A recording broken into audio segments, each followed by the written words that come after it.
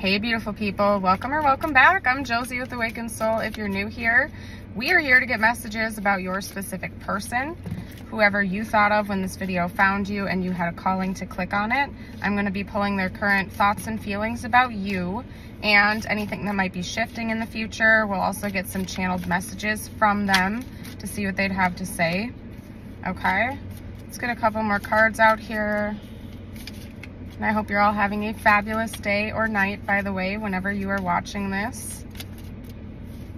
If you ever want a more in-depth look, I have pick a card reading playlists and pop-up reading playlists on my channel, so you're welcome to look at those if you want a longer, more in-depth reading. This is gonna be just a real quick snapshot to check in on your person. We have the Four of Cups, the Seven of Pentacles, the Fool, the Three of Wands, the Star, that's Aquarius energy, Okay, so your person has been really improving to say the least, okay? I think this connection has been a wake-up call for them in a lot of ways. They've been doing a lot of healing and soul searching and waking up to different realities, including how they feel about you. So I'm guessing you're probably not in contact with this person, or if you are, it's been rather hot and cold. I think that's partially due to the fact that your person has felt um, kind of displaced, okay? I think they've been going through a big wake-up call period of their lives, and so they're just not feeling very content with their current reality in the 3D, so they've been making improvements um, to try to seek something better, if that makes sense, okay? They've been really working on themselves a lot, okay? Yeah, they've been really looking back on the past to see if some of the decisions that they've made regarding you and your connection, as well as other areas of their life, have been worth it. They're not sure that the decisions that they've made in the past were the right ones, and they've really been reflecting on that and trying to make better decisions going forward.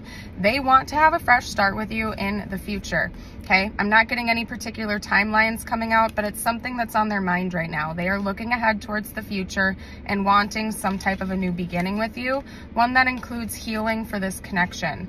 So what I'm gonna do is get a couple of channeled messages out from them to see what they would actually have to say to you or what they're planning on saying to you in the future to bring some clarity. So let's get out a couple of those. It was my fault, but I blamed you. So that could have been one of the wounds as well, is that they were projecting their own insecurities and fears onto you in this connection instead of taking the blame themselves. And they're aware of that now. Maybe they think you could have been doing the same thing. Like this could have been like a really fun, brief situationship or something like that where the two of you had a lot of fun and then it fizzled away because um, both of you had some wounds and some healing to do potentially. Um, or that could again be your person projecting onto you that they think that you didn't really have deeper feelings for them that um, they were just a distraction for you and maybe that's inaccurate. This is coming from your person's perspective so listen to your intuition about that they still want to see you though. They may literally be looking for you everywhere if you live in a close proximity to one another.